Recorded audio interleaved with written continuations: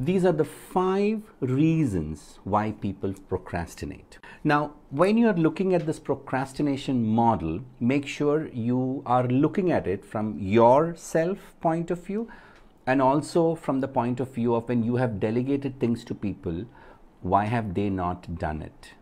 Okay, so the model applies just perfect for self and for others. So, when you don't get things done, even after telling people, you need to really evaluate what really was the problem. And likewise to self also. Like there are times when you would have really decided to do certain things in life and it's an important goal, and for some reason you don't achieve this goal. It's a good time to evaluate, ye? For what reason has this not happened?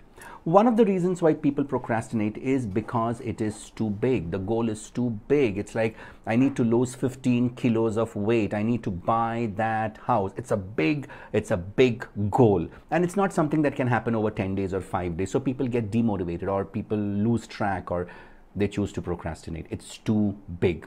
What do you do to a goal that is too big? You break it down into small pieces. Small pieces. When you break it down into small pieces, as small as possible into the lowest common denominator, what happens now when you break it down into small pieces?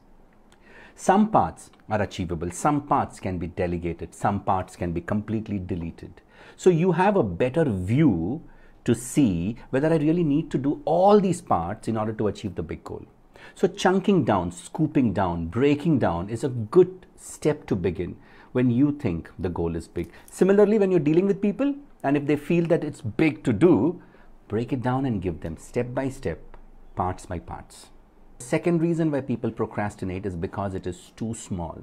And when I say too small, it means that people may feel that this task is below them. It doesn't align with their vision. It doesn't align with their mission statement. It doesn't align with who they are.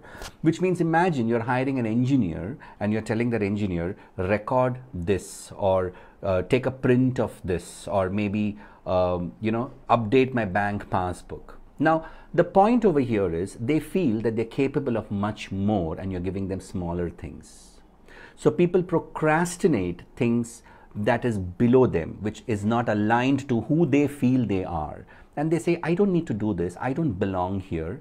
So find out is one of the reason why people procrastinate what you give them or they don't do what you give them is it because it's below you in some way and then sometimes out of excitement we would uh, we are over ambitious and we would take on things as a personal goal or or people will take on from you saying that yes i can do that. But then you realize that they don't know how to do this. It's a skill issue. They don't know how to do this. And well there are sometimes people saying that i don't want to do this you know and these are two different issues why people don't achieve their goals or people procrastinate their goals or people don't do what you let them do or you tell them to do. Or it's also that they commit to you and then they don't do it. Why? Because a it's a skill issue. It's overcommitment. The concern is they overcommitted something and the solution is skill right? Put them into skill training. And the next is i don't want to do this. Now when someone says i don't want to do this indirectly it's an attitude issue right now, attitude can be of two types. It can be clarity that they know that I don't want to do this, or it can be arrogance that, well, you are telling me, so I don't want to do this. It's important to find out are you pushing something on people that they don't want to do, or are you the reason that's created the conflict because of which they're not doing it?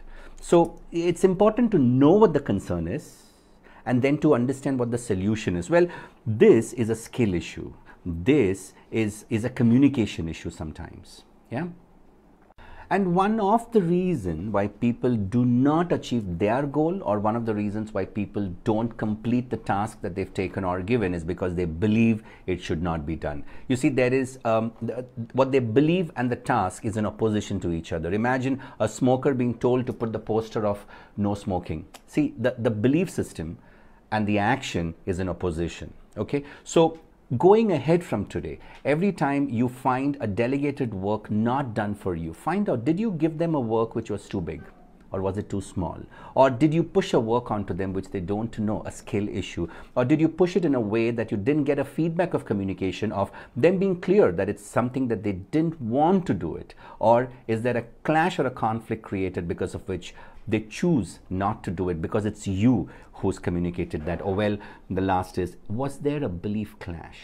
Are five important filters, markers, like a litmus test to know why was that goal not achieved? Why was that communication left incomplete? Why was the task not completed?